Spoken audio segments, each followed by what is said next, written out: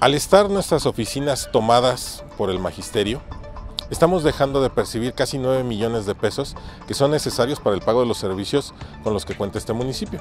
De ahí podemos mencionarles lo que es la luz de las calles, la luz de las instalaciones, la energía eléctrica que se utilizan en las bombas, el pago de los combustibles de las unidades de limpia, de seguridad pública y de todos los servicios que se prestan en las diferentes instalaciones, como son parques, unidades deportivas, jardines, panteones y hasta el rastro.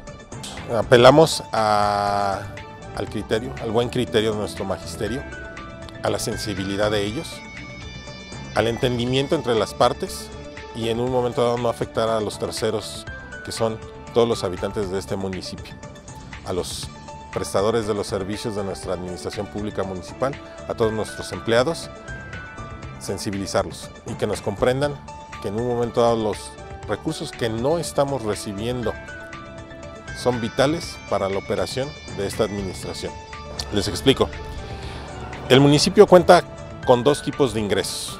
Ingresos locales e ingresos que nos manda la federación.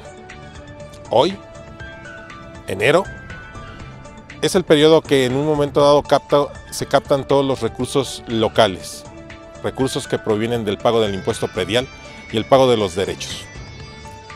Por consiguiente, este mes no tenemos participaciones federales. Dependemos exclusivamente de los ingresos que se captan de las oficinas recaudadoras de nuestro municipio. Llámese ingresos municipales y las otras dos instancias que en un momento se tienen para el cobro. Al nosotros eh, dejar de percibir eh, el ingreso que se capta en estas cajas que han permanecido a lo largo de estas dos semanas tomadas, se ha dejado de recibir los recursos que se requieren para el pago de la nómina ya se puso en riesgo.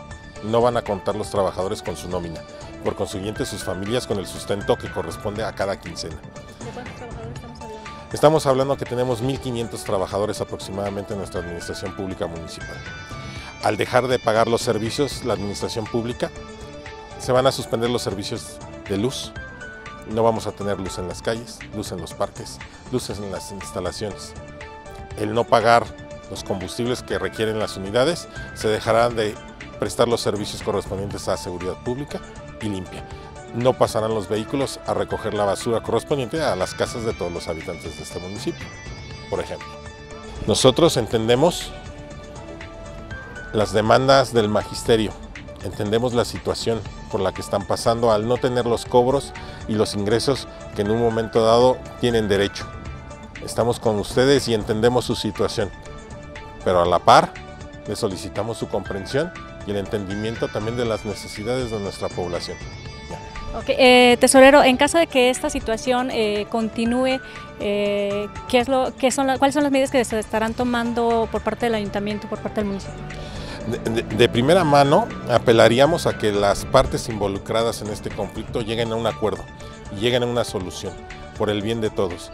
Y por otra parte, esperaríamos los momentos pertinentes y solicitar el apoyo a la federación con recursos para poder sufragar las necesidades de este ayuntamiento.